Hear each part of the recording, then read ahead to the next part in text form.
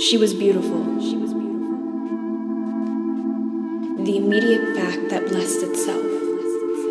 Breathless, with a cluster of freckles trailing up to her eyelids, she had potential walking up and down her cheeks. Her almond eyes were bright as sea. Three hairs on her head. Only three. With an expanse of soft skin. She peered at me behind her mother's leg, five or six years old maybe. Now, I was at a conference composed of barren heads where I was just another unfertilized seed. In the crowd in front of me stood a 30 year old woman whose worry wrinkles painted a mirage of memories to come. The woman held her daughter's hand like an IV, injecting security. She asked me, Is my daughter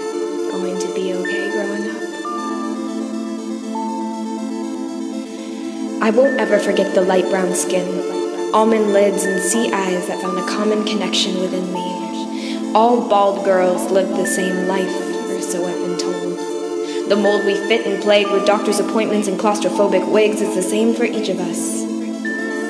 The never ending questioning, the loss of identities, the back alley bullies, the pressure to hide the disorder that is only seen as a cosmetology issue. So I reached out to the child and asked her if she wanted is very soft, I said. In that moment, I made a subconscious decision. I didn't want to live the typical example of the bald girl anymore. I didn't want to live the life of a crumbling facade because I knew what it was like to grow up with a troubling diffidence that used to gnaw at the bone, the constant feeling of being a deer caught in a mine of headlights, still a stone, faking confidence as fear spun out of control. And I know what it's like to hate the medium your soul inhabits.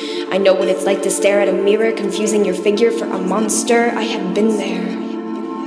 When your mind has a way of turning imperfections into self harm weapons, I have been there. And with the media's obsession with appearance these days, it makes it harder for kids to face the mirror and see the amazement hiding under a maze of self inflicted judgments. Haven't we all been there? It seems the constant focus is If only our flaws disappeared with a puff of smoke, then we'd be happy, right? Then we'd be happy? Well, I don't think so. I've been alive for 17 years on this planet, with alopecia for 15 and a half.